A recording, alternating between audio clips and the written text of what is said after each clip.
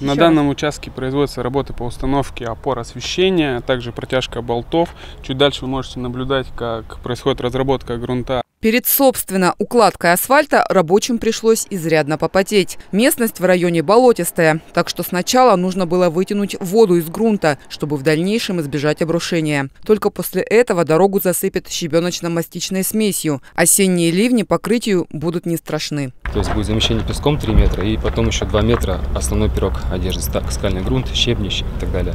То есть достаточно мощный пирог получается, и он выдержит любые грунтовые воды. Эту дорогу по улице Духова жители Чурилова ждут уже много лет. Машины сбивали здесь подвески, а школьники приходили на занятия по колено в грязи. Наконец, впервые за много лет здесь появится ливневка. Подрядчик обещает мэру, закончить работы должны с опережением на год. 30 августа выполним участок дороги от начала до школы полностью в асфальте, в разметке, со знаками и устройством э, наружного освещения. А уже ближе к октябрю-ноябрю закончим второй этап и остатки первого этапа.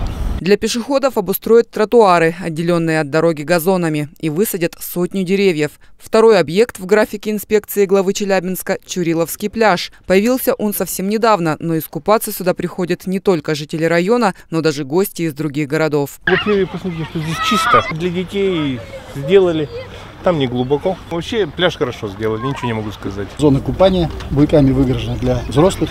На метр семьдесят буйки стоят. Для детей метр двадцать тоже зона. Сделаны сходни для маломобильных групп. На этом благоустройство микрорайона не заканчивается. Впереди много планов. Я проехала еще до пруда, который находится за дорогой около мехколонны. В этом году будет благоустроен пруд, будет сделана прогулочная зона, будут поставлены малые формы и будет э, осуществлен подход к воде для того, чтобы зимой эту территорию можно было использовать как каток. Кроме того, уже проектируются две дороги, вторая и третья Эльтонская. Если будет получено положительное заключение, их строительство планируют завершить к 2022-2023 году. Наталья Петрухина, Роман Поротиков, 31 канал.